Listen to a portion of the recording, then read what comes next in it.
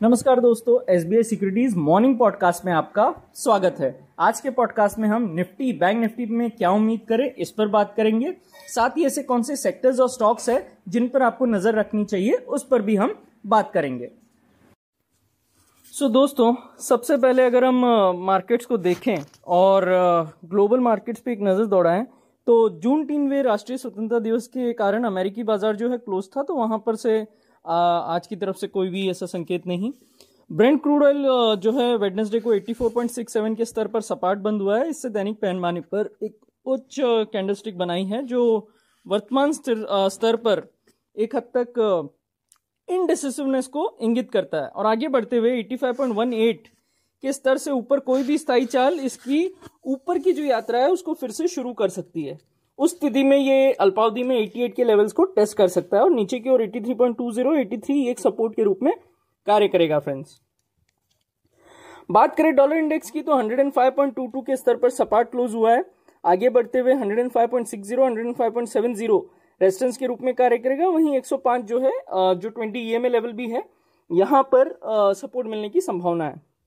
अब बात करते हैं इंडियन मार्केट्स की। सबसे पहले निफ्टी की तो बुधवार को निफ्टी ने पहले हाफ़ में अपनी जो पॉजिटिव जर्नी है उसको जारी रखा और 23,664 पर एक और लाइफ टाइम हाई चिन्हित किया।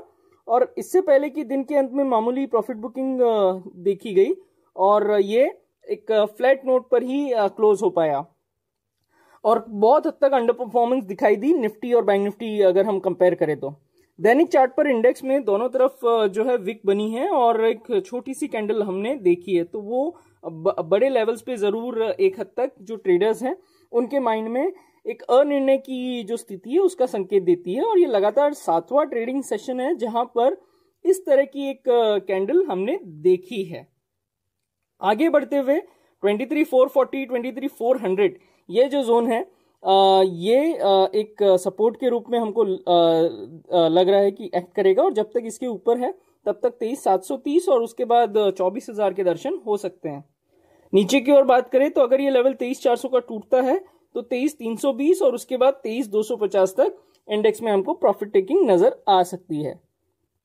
फ्यूचर्स में देखिए तो zero point two seven percent कल लॉस हुआ में बंद हुआ और क्यूमुलेटिव ओआई जो है वन परसेंट से बढ़ती हुई नज़र आई तो एक शार्ट बिल्डअप ज़रूर यहाँ पे मामूली नज़र आता है। इंडेक्स के घटक की देख घटक के बारे में बात करें यानी इंडेक्स के कंपोनेंट्स के बारे में तो 11 में लॉन्ग बिल्डअप एक में शॉर्ट कवरिंग 25 में शॉर्ट बिल्डअप और 13 में लॉन्ग अनवाइंडिंग नज़र आ रही है। और ओ जो है फ्रेंड 0.97 पर है मैक्स पेन 23,500 पर है और जून समाप्ति के लिए ओ आई पर प्लेस्ड है। तेईस छह सौ के स्ट्राइक में महत्वपूर्ण कॉल ओपन इंटरेस्ट है। उसके बाद तेईस सात सौ के स्ट्राइक में अच्छा खासा कॉल में ओपन इंटरेस्ट बढ़ता हुआ नज़र आया है। बात करें पुट की तो तेईस पाँच सौ और तेईस चार सौ में सिग्निफिकेंट ओपन इंटरेस्ट बढ़ता हुआ नज़र आ रहा है।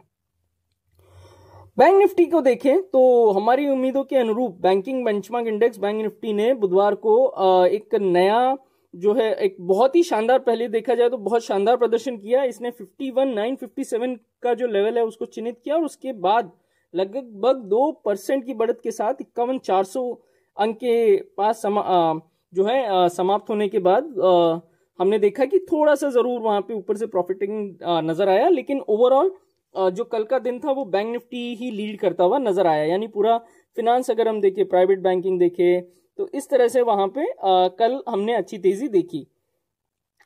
इसने कल एक फ्रेश ऑल टाइम हाई जो है लेवल चिन्हित किया जैसा कि हमने कहा उसी के बाद अगर हम देखें तो एक हद तक प्राइवेट बैंक जो थे, उनके सपोर्ट जो है यहाँ पे साफ़ साफ़ नज़र आ रहा था और उसके बाद एक मामूली ऊपरी छाया के साथ तेज़ी वाली कैंडल इसने बनाई है। क्योंकि index all time high level पर कारोबार कर रहा है, इसलिए सभी, जो भी मेजर मूविंग एवरेजेस हैं, उनके ऊपर ही इंडेक्स जो है ट्रेड कर रहा है। आगे बढ़ते हुए बैंक निफ्टी ज़रूर अपनी नॉर्थवर्ड जर्नी है, उसको जारी रखने का प्रयास करेगा और बावन हज़ार के मनोवैज्ञानिक लेवल को भी टेस्ट करने की संभावना और उसके बाद बावन पाँच का लेवल जो है हमको नज़र आ सकता है। नीचे की ओर बात करें तो पचास, नौ सौ, पचास, आठ सौ, ये एक जो है सपोर्ट हमको नज़र आ सकता है। फ्यूचर्स में दो परसेंट के आसपास की वृद्धि हुई है और क्यूमुलेटिव ओपन इंटरेस्ट जो है फ्रेंड्स नौ परसेंट बढ़ा है। जो कि समग्र लॉन्ग बिल्डअप को दर्शाता है। इक्यावन चार सौ इक्यावन पाँच सौ सॉरी इक्यावन पाँच सौ के स्ट्राइक में कॉल इंटरेस्ट कॉल में ओपन इंटरेस्ट बढ़ता हुआ नज़र आया। उसके बाद बावन हज़ार, वहीं पुट में इक्यावन दो सौ और इक्यावन हज़ार के स्ट्राइक में ओपन इंटरेस्ट बढ़ता हुआ नज़र आया है।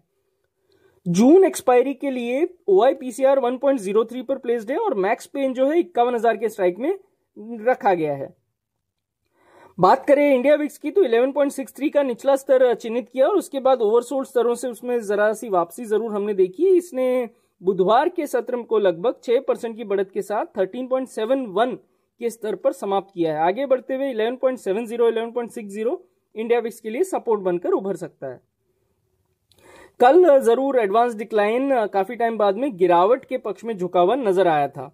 निफ्टी, अगर हम देखिए सेक्टर्स की बात करें तो निफ्टी बैंक प्राइवेट बैंक और निफ्टी फाइनेंशियल सर्विसेज़ जो है, बहुत ही अच्छा प्रदर्शन करने में कामयाब रहे और इनके इसी प्रदर्शन को आगे भी पॉसिबिलिटी है कि जारी रह सकता है। यहाँ पर एक और इंडेक्स की बात करनी आवश्यक है, वो है निफ्टी आईटी निफ्टी आईटी जो है फ्रेंड्स दैनिक पैमाने पर बुलिश पेनेंट ब्रेकआउट देने की कगार पर है।